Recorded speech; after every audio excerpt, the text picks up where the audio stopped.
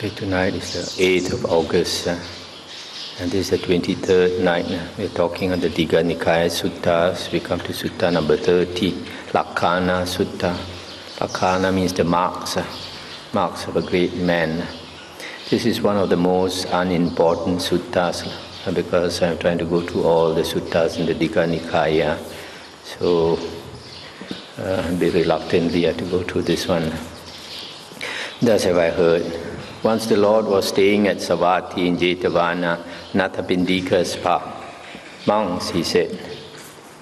And the monks replied, Lord, the Lord said, There are monks, these 32 marks peculiar to a great man, and for that great man who possesses them, only two careers are open. If he lives the household life, he will become a ruler, a wheel turning righteous monarch of the law conqueror of the four quarters, who has established the security of his realm and is possessed of the seven treasures.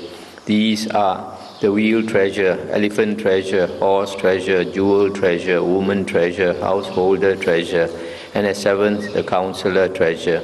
He has more than a thousand sons who are heroes of heroic stature, conquerors of the hostile army. He dwells having conquered this sea-girt land without stick or sword by the law. But if he goes forth from the household life into homelessness, he will become an arahant, a Sammasambuddha, who has drawn back the veil from the world. And what are these 32 marks? One, he has feet with level tread. This is one of the marks of a great man. Two, on the soles of his feet are wheels with a thousand spokes, complete with felloe and hub. Well, this one is a bit hard to believe. Lah. That's why I say yeah, I'm reluctant to go through this sutta. Three, he has projecting heels. Four, he has long fingers and toes. Five, he has soft and tender hands and feet. Six, his hands and feet are net-like. Seven, he has high raised ankles. Eight, his legs are like an antelope's. Nine, standing and without bending, he can touch and rub his knees with either hand. Ten, his male organs are enclosed in a sheath. 11. His complexion is bright, the color of gold. 12. His skin is delicate and so smooth that no dust can adhere to his body. 13. His body hairs are separate, one to each pore. 14. His body hairs grow upwards, each one bluish black like collyrium, curling in rings to the right. 15. His body is divinely straight. 16. He has the seven convex surfaces. 17. The front part of his body is like a lion's. 18. There is no hollow between his shoulders. 19. He is proportioned like a banyan tree. The height of his body is the same as the span of his outstretched arms. And conversely, 20. His bust is evenly rounded. 21. He has a perfect sense of taste. 22. He has jaws like a lion's. 23. He has 40 teeth. 24, his teeth are even. 25, there are no spaces between his teeth. 26, his canine teeth are very bright. 27, his tongue is very long. 28, he has a Brahma like voice, like that of the Karavika bird. 29, his eyes are deep blue. 30, he has eyelashes like a cow's.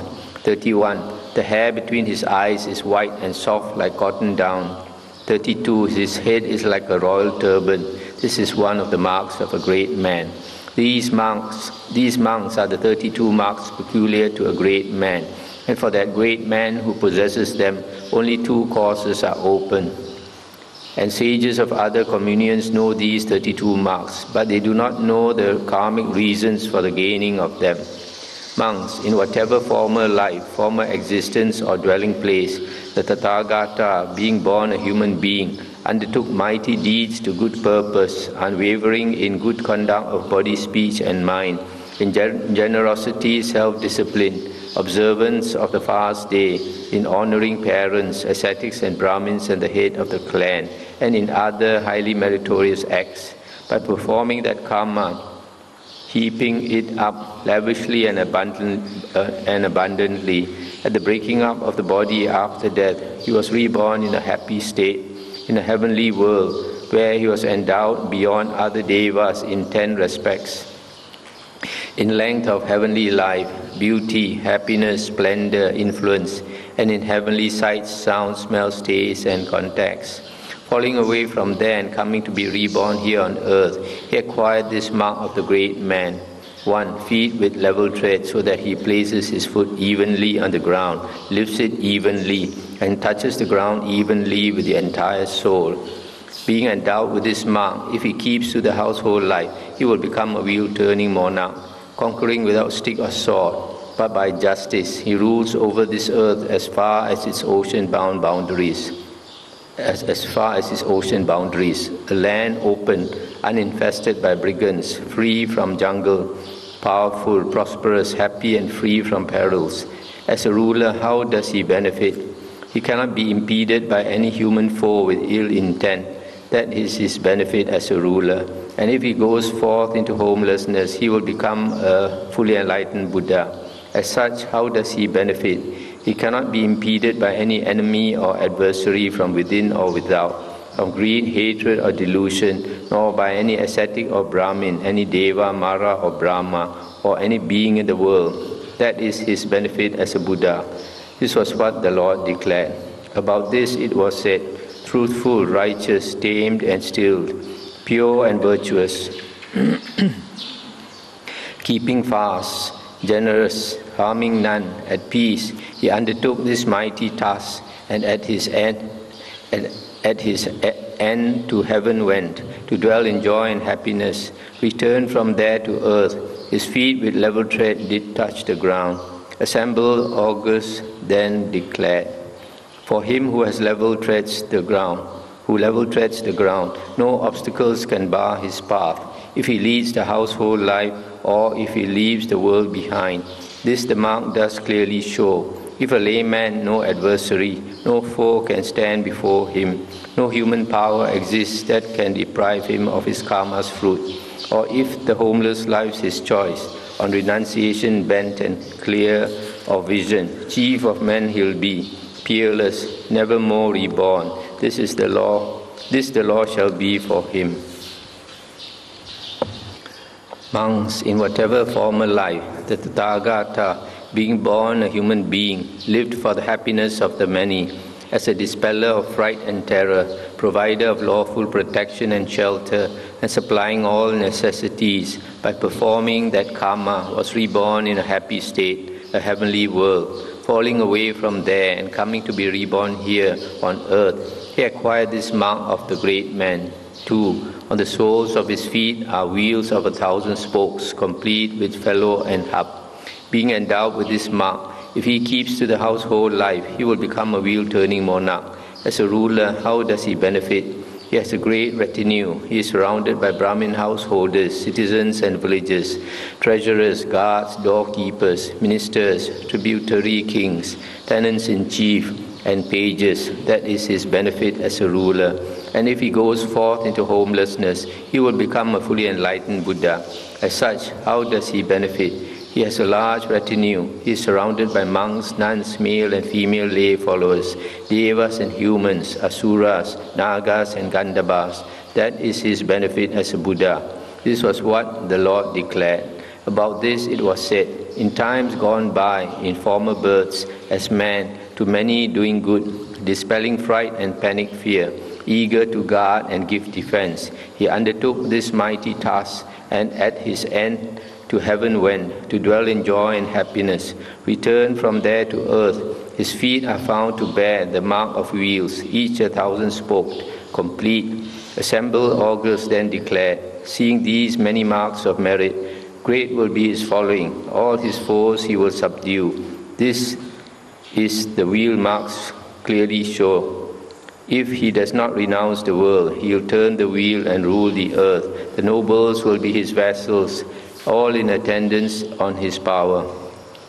But if the homeless lives his choice, on renunciation bent, and clear of vision, men and devas, asuras, sakas, rakkhasas, gandhabbas, nagas, garudas, four-foot beasts will serve him too unrivaled by devas and by men, alike revered in all his glory. Monks, in whatever former life, the Tathagata, being born a human being, rejecting the taking of life and abstaining from it, and laying aside stick and sword, dwelt kind and compassionate, having friendship and sympathy for all living beings. By performing that karma, was reborn in a happy state. Falling away from there and coming to be reborn on earth, he acquired these three marks of the great man. Three, projecting heels, four, long fingers and toes, and 15, a divinely straight body. Being endowed with these marks, if he keeps to the household life, etc. As a ruler, how does he benefit? He is long lived, long enduring, attaining a great age, and during that time, no human foe can possibly take his life. As a Buddha, how does he benefit?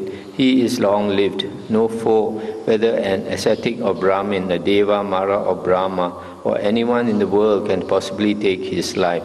That is his benefit as a Buddha. This was what the Lord declared. About this it was said, knowing well their dread of death, beings he forbore to kill. His goodness earned him heavenly birth, where he rejoiced in merit's fruit. Returning thence to earth he bore on his person these three marks. His heels are full and very long, Brahma like he straight of form, fair to see and shapely limbed, his fingers tender, soft and long. By these three marks of excellence, it's known the youth will be long lived. Long he'll live in household life, longer still as a homeless one, practicing the noble powers. So the three marks indicate.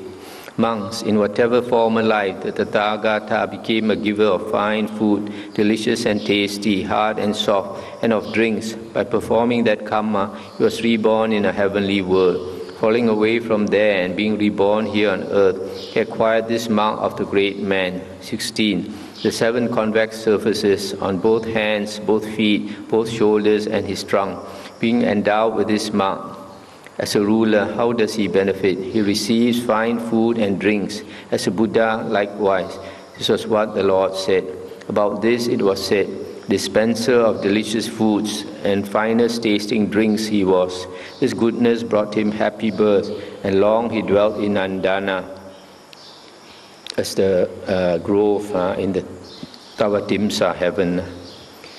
To earth returned the seven signs on gently swelling limbs he bore. Assembled augurs then declared, fine food and drink he would enjoy, not merely in the household life, for though he should renounce the world and cut the bonds of worldly living, delicious food he'd still receive. Monks, in whatever former life, the Tathagata made himself beloved through the four bases of sympathy, generosity, pleasing speech, beneficial conduct, and impartiality. On returning to this earth, he, he acquired these two marks of the great man soft and tender hands and feet, and net like hands and feet. Being endowed with these two marks, as a ruler, how does he benefit?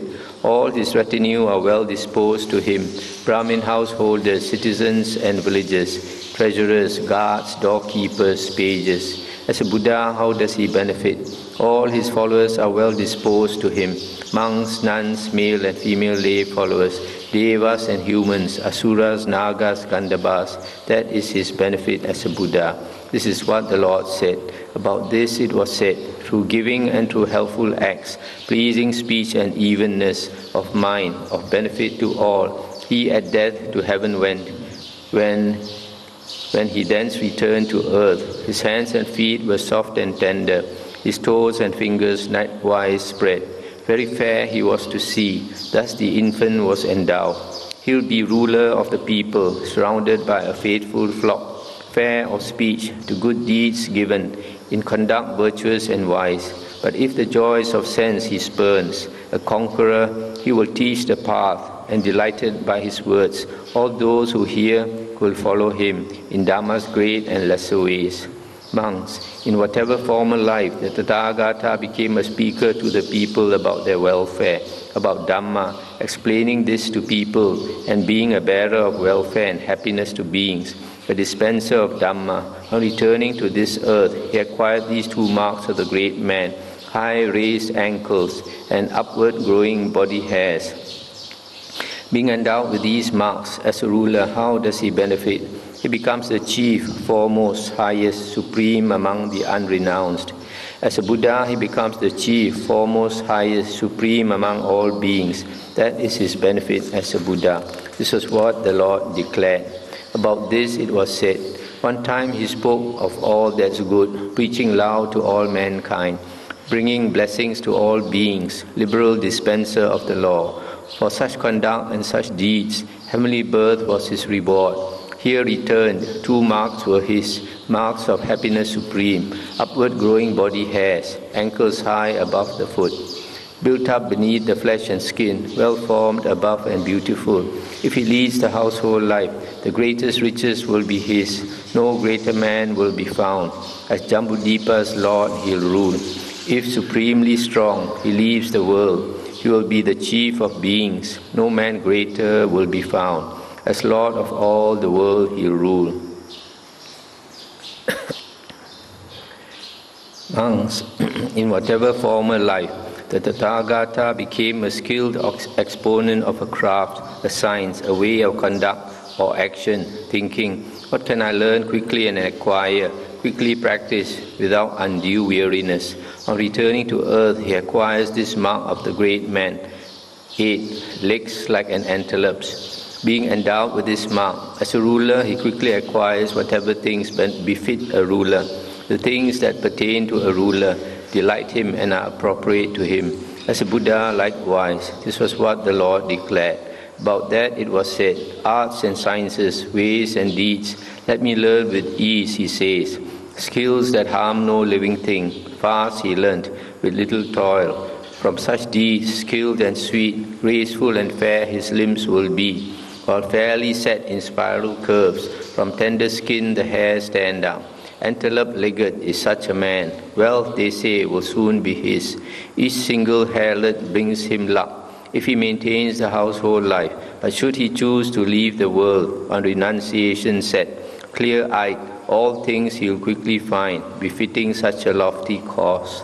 Monks, in whatever former life the Tathagata approached an ascetic or Brahmin and asked, Sir, what is the good, what is the bad, what is blameworthy, what is not, what course is to be followed, what is not, what if I do it will be to my lasting sorrow and harm, what to my lasting happiness. On returning to this earth, he acquired this mark of the great man. 12. His skin is so delicate and smooth that no dust can adhere to his body. Being endowed with this mark, as a ruler he will be very wise, and among the unrenounced there will be none equal or superior to him in wisdom. As a Buddha he will have great wisdom, extensive wisdom, joyous wisdom, swift wisdom, penetrative wisdom, discerning wisdom, and among all beings there will be none equal to him or superior to him in wisdom. This is what the Lord declared. About this it was said, In former days, in former births, eager to know, a questioner, he waited on the homeless ones, keen to learn the truth. He would heed their words about life's goal. The fruit of this, when born again, as man, his skin was soft and tender. Assembled augurs thus declared, subtle meanings he'll discern. If he does not leave the world, he'll be a wheel revolving king.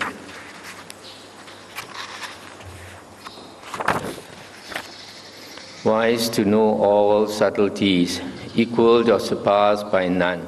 But should he choose to leave the world, a renunciation set, highest wisdom will be his, enlightenment supreme and vast. Stop here for a moment now. This one now talking about his skin is so delicate and smooth uh, that no dust can adhere to his body. Uh, this contradicts the Vinaya books. In the Vinaya books, the Buddha said uh, he uh, never bathed for so long uh, that all the dirt, all the daki, uh, the dirt accumulated on his uh, on his flesh, and he never bothered to rub it off. It grew so thick that it just flaked off by itself. Monks, in whatever former life, the Tathagata lived without anger, perfectly unruffled, and even after many words had been uttered, was not abusive or agitated or wrathful or aggressive, displaying neither anger nor hatred nor resentment, but was in the habit of giving away fine soft rugs, cloaks, fine linen, fine linen, cotton, silk, and woolen stuffs on returning to this earth.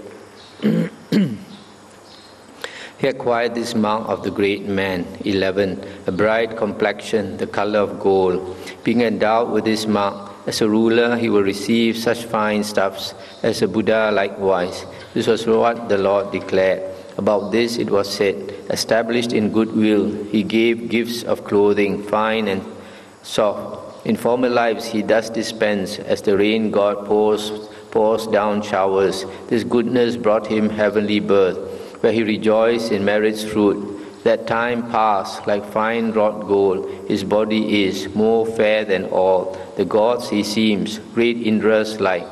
If he lives the household life, he'll regulate this wicked world. And for what he's done, receive clothes of finest quality, rugs and coverlets of the best. And should he choose to leave the world, such things likewise he'll receive. Virtue's fruit cannot be lost.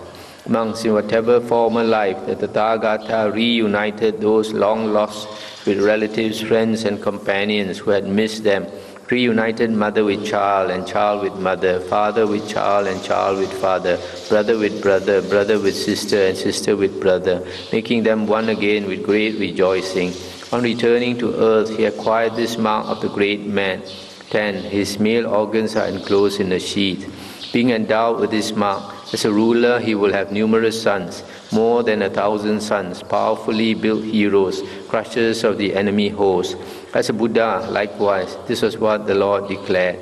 About this it was said, In former days, in former births, long lost friends and relatives, companions too, he brought together, thus uniting them in joy. This good deed brought heavenly birth, bliss and joy were his reward. When he thence returned to earth, sheathed and closed his organs were. Numerous children such will have, more than a thousand sons are his. Hero champions, conquerors, and filial too, the layman's joy. But if he leaves the world, still more with children he will be endowed, those who depend upon his word, and so renounce or not, design such benefits as this portends monks in whatever former life the Tathagata, considering the welfare of people, knew the nature of each, knew each one himself, and knew how each one differed. This one deserves such and such, that one deserves so and so. So he distinguished them. On returning to earth, he acquired these two marks of the great man. 19. He is proportioned like a banyan tree. And 9. Standing without bending, he can touch and rub his knees with both hands. Being endowed with these marks, as a ruler, he will be rich of great wealth and resources, having a full treasury of gold and silver, all sorts of goods, and his granary will be full of corn. As a Buddha, he will be wealthy and rich, and these will be his treasures faith, morality, moral shame, moral dread, learning, renunciation, and wisdom. This was what the Lord declared. About this it was said, weighing in the balance, noting, seeking people's benefit, seeing this one that deserves and that one this, he judged them. Now he can unbending stand and touch his knees with both his hands, and his tree like girth and height is the fruit of virtuous deeds. Those who read the marks and signs, experts in such law declare, things that suit the household life. As a child he'd get in plenty, much worldly wealth as this Lord's, as this world's Lord, as befits a layman, shall be his. But should he renounce wealth, but should he worldly wealth renounce, he'll gain the wealth that's unsurpassed. Monks, in whatever former life the Tathagata desired the welfare of the many, their advantage, comfort, freedom from bondage, thinking how they might increase in faith, morality, learning, renunciation, in Dhamma, in wisdom, in wealth and possessions, in bipeds and quadrupeds, in wives and children, in servants, workers, and helpers, in relatives, friends, and acquaintances. On returning to earth, he acquired these three marks of the great man 17. The front part of his body is like a lion's. 18. There is no hollow between his shoulders. And 20. His bust is evenly rounded. Being endowed with these marks, as a ruler, he cannot lose anything wealth and possessions, bipeds and quadrupeds, wives and children, losing nothing. He will succeed in all things. As a Buddha, he cannot lose anything faith, morality, learning, renunciation, or wisdom. Losing nothing, he will succeed in all things. This was what the Lord declared.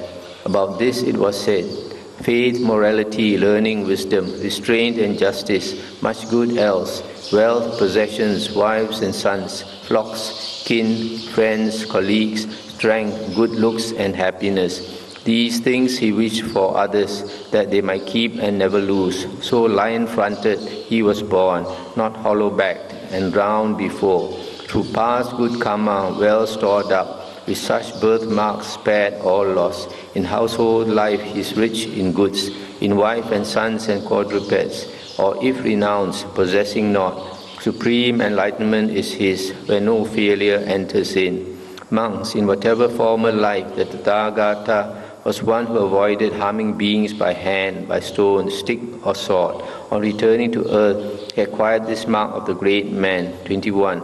Has a perfect sense of taste. Whatever he touches with the tip of his tongue, he tastes in his throat, and the taste is dispersed everywhere.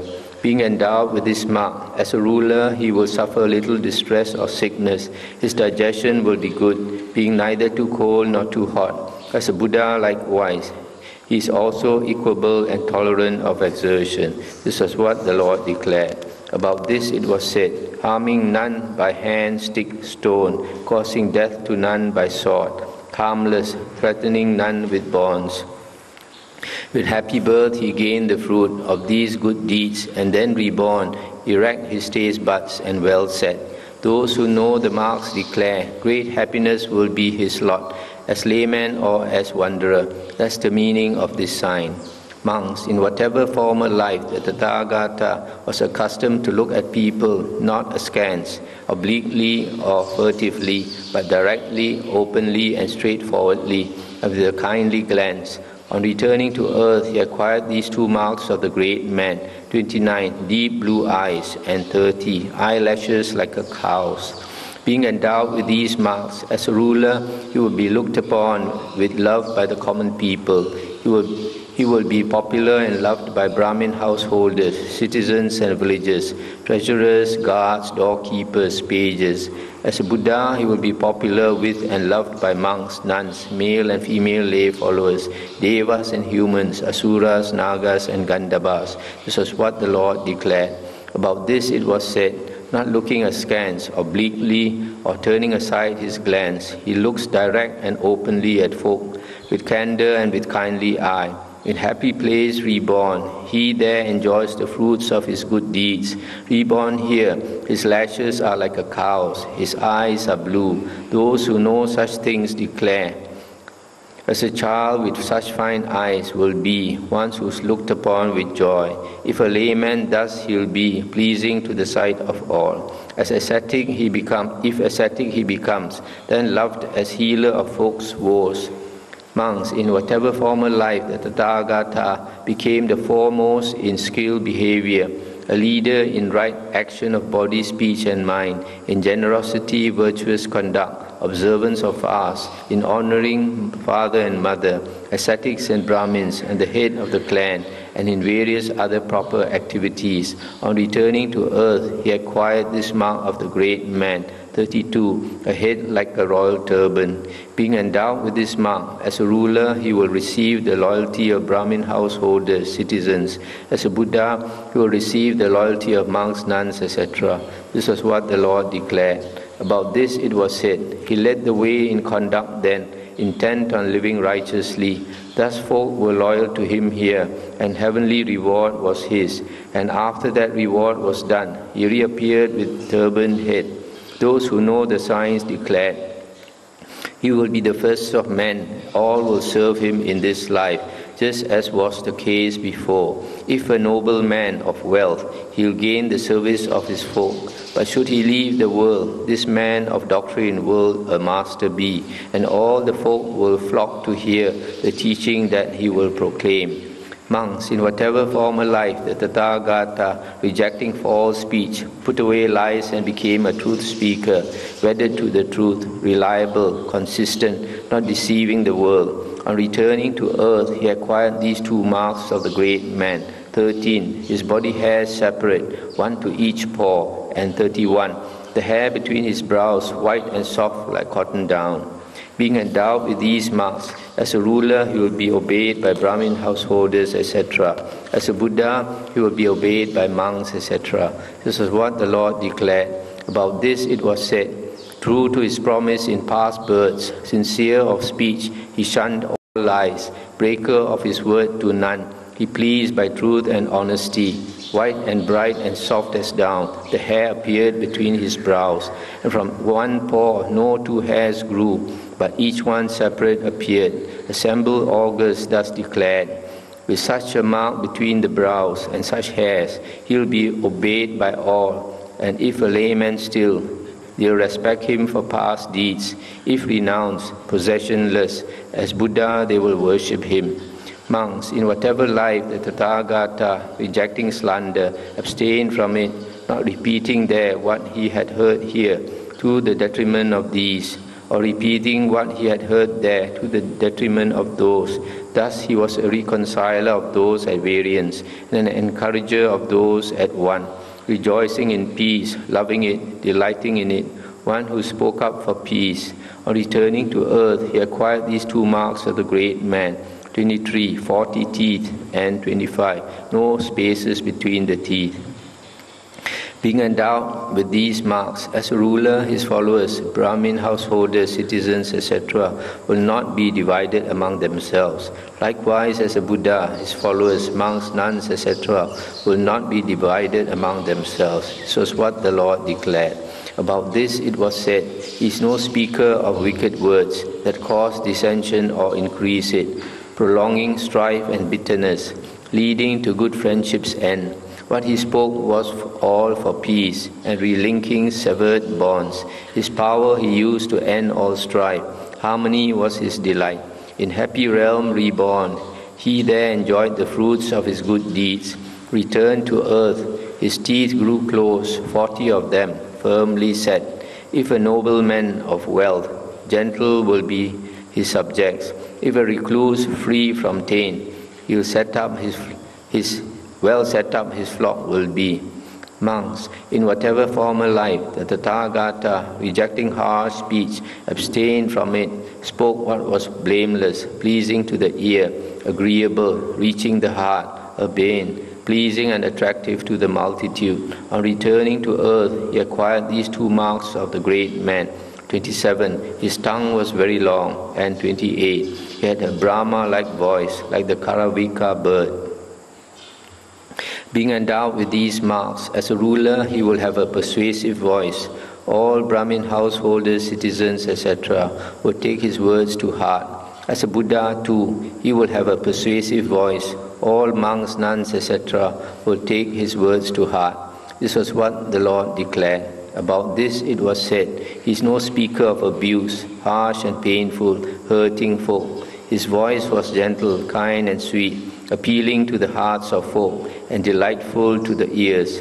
In happy realm reborn, he there enjoyed the fruits of his good deeds, having tasted this reward, with Brahma voice endowed, to earth he returned, and long his tongue. And what he says will carry weight. If layman, he will prosper much. But if this man should leave the world, folk will take his words to heart and set great store by all he says monks, in whatever former life the Tathagata, rejecting idle chatter, spoke at the right time what was correct and to the point of Dhamma and Vinaya, and what was bound up with profit. On returning to earth, he acquired this mark of the great man, jaws like a lion's. Being endowed with this mark, as a ruler, he cannot be overcome by any human foe or opponent as a Buddha, he cannot be overcome by any foe or hostile thing from within or without, by lust, hatred, or delusion, by any ascetic or Brahmin, Deva, Mara, Brahma, or anything in the world. This was what the Lord declared. About this it was said, No idle talk or foolishness, fruit of scatterbrain was his. Harmful things he put aside, speaking only all men's good.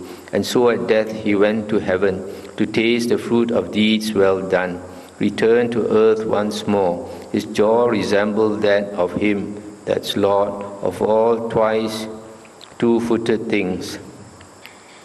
He will a king un, he will be a king unbeaten, Lord of men, of mighty power, like the Lord of threefold heaven, like the greatest of all of the gods, Gandhabbas, Sakhas, Asuras, who strive in vain to cast him down. As layman thus he'll be throughout all the quarters of the world. Monks, in whatever former life, the Tathagata, rejecting long, wrong livelihood, lived by right livelihood, refraining from cheating with false weights and measures, from bribery and corruption, deception and insincerity, from wounding, killing, imprisoning, highway robbery, and taking goods by force. On returning to earth, he acquired these two marks of the great man 24, even teeth, and 26, very bright canine teeth.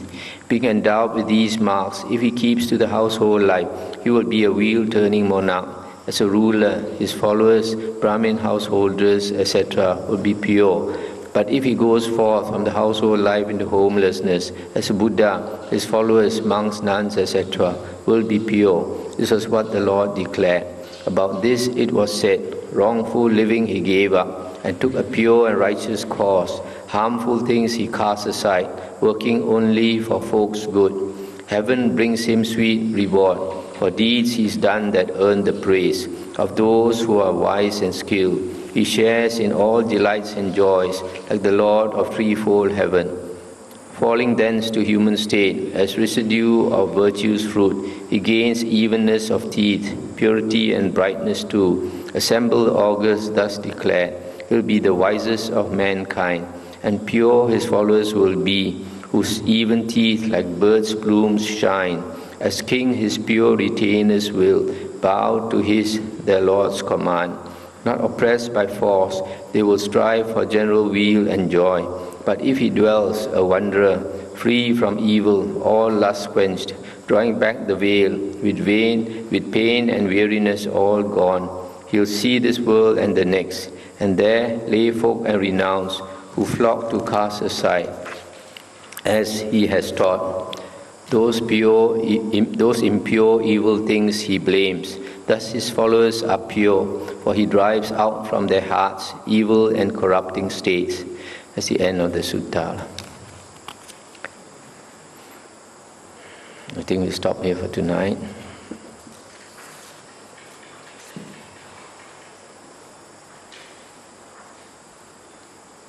This is one of the suttas uh, where they try to praise the Buddha, and in praising the Buddha, they uh, uh, how do you say? Uh, go over the hill. Uh, and besides, uh, all these marks are not important. They are only important maybe to the Brahmins at that time.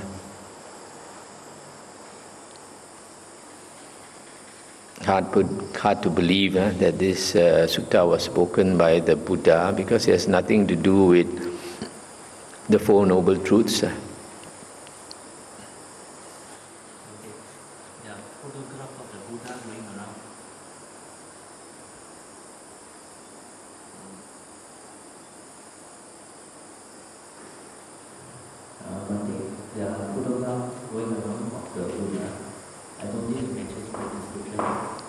Hmm.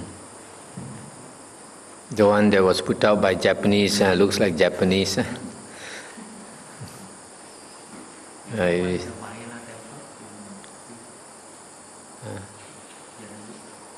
yeah, yeah. Just like Buddha statues. Lah. put, put out by Chinese look like Chinese. The one put out by Indians look like Indians.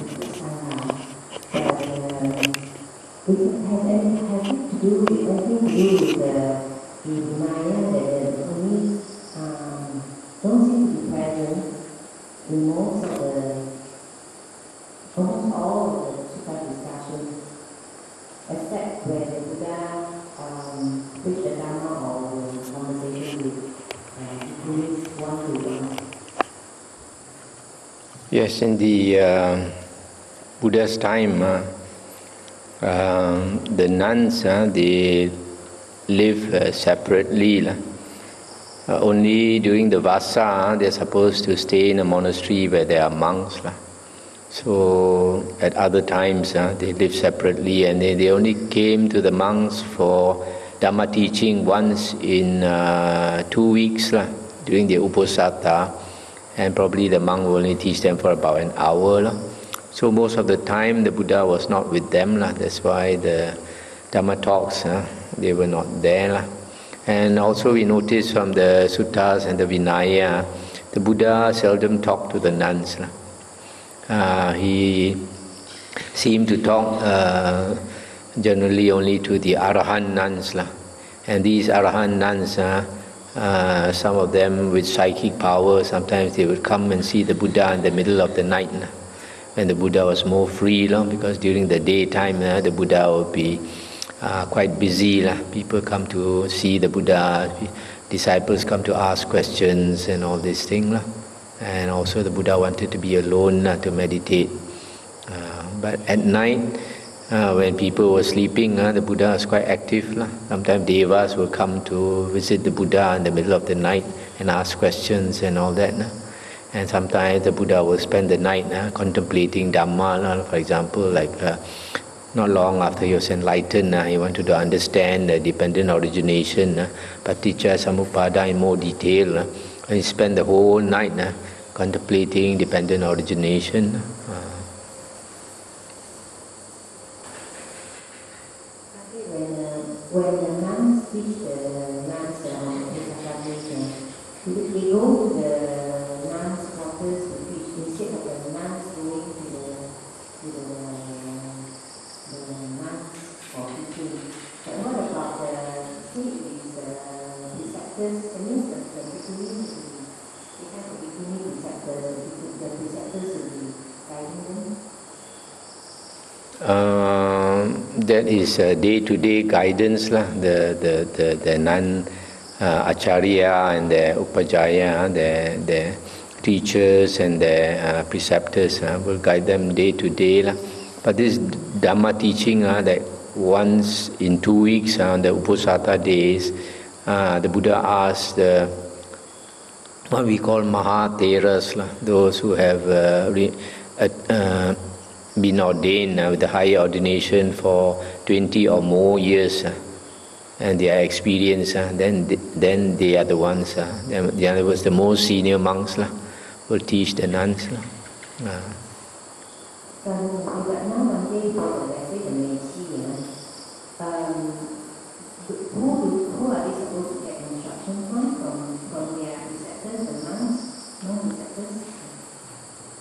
Uh, Mechi uh, actually are not uh, nuns lah. Mechis are eight preceptors lah. Mechis are eight preceptors. Just that because they want to stay long in the monastery, they shave their head lah. So in the like Thai uh, tradition, uh, Mechis are not considered as nuns lah, as uh, equivalent to lay people lah. Uh, so there are some uh, uh, forest monasteries in Thailand. Uh, they don't accept. Uh, they don't allow. Um, not don't allow. They don't uh, ordain machi lah. Uh, but they have uh, quarters uh, for lay people to stay. So. Uh, uh, this uh, whether it's lay people, eight preceptors, or machis, uh, they can stay. Uh, so because uh, um, if the monks want to practice, uh, then they don't want to be burdened uh, with uh, looking after the machi and all that. No?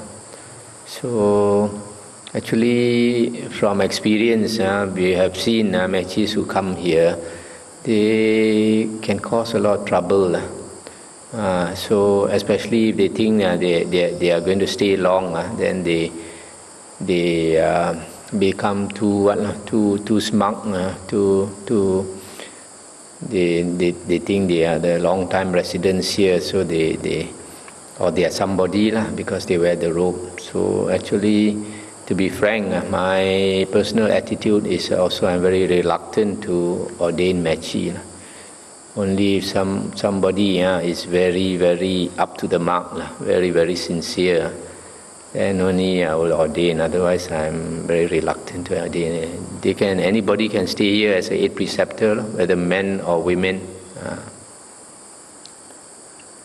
In uh, Thailand, they are actually eight preceptors. Yes. So if they were to stay permanently in the temple, um, is it a form of recognition that they have to ordain or uh, is, is there any official recognition in the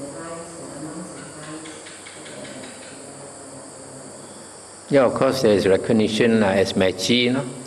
They are recognized as Machi. That means uh, they are eight preceptors, but they are dedicated to staying in the monastery. You know? Whereas those who don't shave their head, uh, even though they are eight preceptors, uh, they can come in and go out and all these things. No? But uh, once you shave the head and you ordain under a teacher, there are obligations. Lah and not so free to run here, run there. No? So it's more convenient uh, for men and women uh, to remain as eight preceptors without shaving their head. Then they can go here, go there. No? Uh. So when they want, they will take the entire under the teacher. They are expected to, to be like, they are renunciant already actually. They're supposed to take instruction from the teacher and depending on the teacher. Yeah, something like that. So they are not free to go here and go there.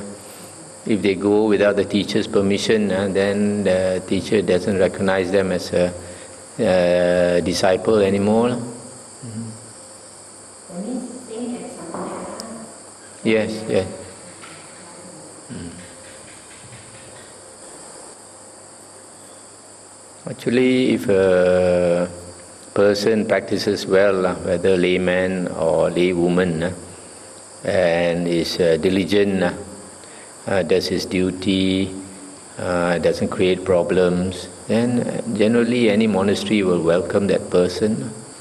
So um, the woman don't really have to become a machi, as long as of good behavior can be welcome anywhere. Don't have to announce. Okay, we'll end here.